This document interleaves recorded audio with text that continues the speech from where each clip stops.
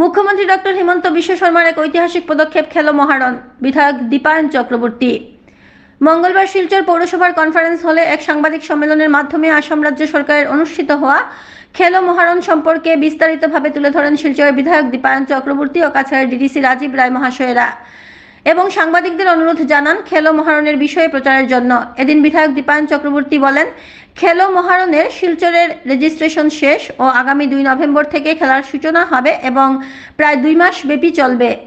খেলো মহারণে তিনটি পর্যায়ে প্রতিযোগিতা থাকবে, জিপি লেভেল, বিধানসভা লেভেল ও শেষে রাজ্য স্তরে।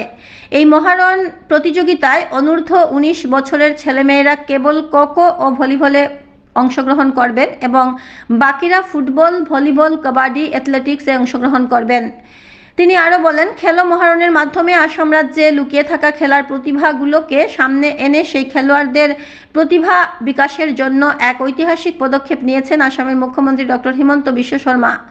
এই খেলো মহারণের মাধ্যমে শহর থেকে গ্রামের ও রাজ্য পর্যায়ে নিজ নিজ খেলার প্রতিভা তুলে ধরতে পারবেন এবং আগামীতে আসাম রাজ্য থেকে আরও বেশি সংখ্যক খেলোয়াড়রা রাষ্ট্রীয় পর্যায়ে খেলতে সক্ষম হবেন। এবং মুখ্যমন্ত্রী ডক্টর হিমন্ত বিশ্ব শর্মার নির্দেশ অনুযায়ী এই খেলো মহারণে বিধায়কদের মাসিক বেতন থেকে দশ শতাংশ কর্তন করা হবে বলে জানান তিনি। ডিডিসি রাজীব রায় বলেন, খেলার বিকাশের জন্য সরকারের সাথে জেলা প্রশাসনও কাজ করছে ও আগামী দিনে খেলো মহারণে সর্বসাধারণের সহযোগিতা কামনা করেন। এদিন শিলচরে চারটি জিপির উপস্থিত প্রতিনিধিদের মধ্যে বিধায়ক দীপায়ন চক্রবর্তী, কাছাড়ের ডিডিসি রাজীব রায়, শিলচর জেলা ক্রীড়া সংস্থার হকি সচিব সুদর্শন চৌধুরী ও সাধারণ সম্পাদক দেবাশিস সোম মহাশয়েরা মোট তিনশো তিরিশটি জার্সি তুলে দেন। এদিন অন্যান্যদের মধ্যে উপস্থিত ছিলেন আশিস চক্রবর্তী, সুদীপা সিনহা, রথীন্দ্রনাথ সাহা, বাবু সিং, সুখেন সরকার, সত্যজিৎ দাস সহ অন্যান্যরা। শিলচর থেকে সাংবাদিক রাজুদের প্রতিবেদন। এনি টোয়েন্টি ফোর থেকে ভয়েসে অর্পিতা ধর। গাইডলাইন অনুযায়ী আমাদের প্রত্যেক জিপিতে আমাদের সম্মানিত জিপি সভাপতিরা চেয়ার চেয়ারম্যান রয়েছেন। এখানে প্রত্যেক জিপির সম্মানিত জিপি সভাপতিরা উপস্থিত রয়েছেন। আর অ্যাডমিনিস্ট্রেশনের পক্ষ থেকে যেভাবে যেরকম মেডিকেল অফিসার বলুন বা পুলিশ স্টেশনের কোনো পুলিশ অফিসার বলুন এই তাদেরকে নিয়ে এই কমিটিগুলো তৈরি করা হয়েছে জিপি লেভেলে। এই কমিটিগুলো তারা সবাই মিলে গিয়ে প্রথমে অবস্থায় শিলচরের মাঠগুলোকে ঠিক করেছেন। আমি আপনাদের সম্মুখে জিপি ওয়াইজ যে জিপি খেলা কোন মাঠে হবে সেটাকে উল্লেখ করছি।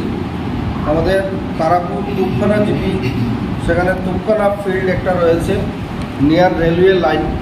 সেখানে এই দুই জিপির খেলা অনুষ্ঠিত হবে। রামনগর জিপির খেলা অনুষ্ঠিত হবে ডনবস্কো স্কুলে। অম্বিকাপুর জিপি আর ভজন্তিপুর জিপির খেলা অনুষ্ঠিত হবে চেঙ্কুরি বাগান ফিল্ডে। আমাদের মেহেরপুর জিপির খেলা অনুষ্ঠিত হবে সিক্স পি ব্যাটালিয়নের ফিল্ডে। ভুঙ্গুর জিপির খেলা অনুষ্ঠিত হবে পলিটেকনিক্যালে। Bagador GP, Berenga GP, Madhurban GP ও কনকপুর জিপি। এই চারটি জিপি নিয়ে আহ, বাগাডোর বেরেঙ্গা খাস ফিল্ড বলে একটা ফিল্ড রয়েছে অতি সুন্দর ফিল্ড সেখানে অনুষ্ঠিত হবে। তো এই ফিল্ডগুলোকে ইতিমধ্যে আমি যাদের কথা বললাম তাদের মাধ্যমে সেটা দেখা হয়েছে প্রথম অবস্থায়। পরবর্তীকালে এই ফিল্ডগুলোকে ঠিকঠাক করে আর এই ফিল্ডগুলোকে কী করে খেলা অনুষ্ঠিত হয় তার উদ্যোগ নেওয়া হয়েছে। আমরা আশা রাখছি যে সব কিছু যদি ঠিকঠাক থাকে তাহলে আগামী দুই তারিখে শিলচর কনস্টিটুয়েন্সির প্রত্যেক জিপি লেভেল খেলা শুরু হবে। আমি আশা রাখছি যে ভজন্তিপুর জিপি আর অন্ততপক্ষে আমাদের ঘুঙ্গুর জিপি, এই দুটা জিপি যাতে দুই তারিখ হয়, এখানে সম্মানিত সভাপতিরা উপস্থিত রয়েছেন পরবর্তীকালে, তাদের সহিত কথা বলে, তারা যদি অন্যান্য জিপিতেও দু তারিখে আমরা খেলা শুরু করতে পারি, তাহলে দু তারিখে আমরা খেলা ওপেনিং করব। কিন্তু ঘুঙ্গুর জিপি আর বজন্তিপুর জিপি ইতিমধ্যে মোটামুটিভাবে আমরা কনফার্ম আছি যে দু তারিখে আমরা এই খেলাকে শুরু করতে পারব। এই খেলা জানেন আপনারা যে পাঁচটি খেলা রয়েছে এটাতে। অ্যাথলেটিক রয়েছে, ফুটবল রয়েছে, ভলিবল রয়েছে কবাডি রয়েছে আর খোখো রয়েছে। এই রেজিস্ট্রেশনগুলো হয়েছে গভর্নমেন্ট গাইডলাইন অনুযায়ী। রেজিস্ট্রেশনের পরেও যারা উপস্থিত হবে সশরীরে, ওই ফিল্ডে, এই এক তারিখ থেকে কুড়ি তারিখের ভেতরে, তাদেরকে আমরা সবাইকে নিয়ে শুধু চেক করা হবে তাদের আইডেন্টিফিকেশনটা যে ওই জিপির কোনো আইডেন্টিফিকেশন থাকতে হবে আর তাকে সুযোগ দেওয়া হবে। এখানে আপনারা জানেন যে উনিশ উনিশ অনূর্ধ্ব আর উনিশ ঊর্ধ্ব দুটি গ্রুপ রয়েছে। এই গ্রুপে খেলা অনুষ্ঠিত হবে। তো তার জন্য প্রত্যেক জিপিতে মোটামুটিভাবে আমরা সব কিছু সেরে নিয়েছি।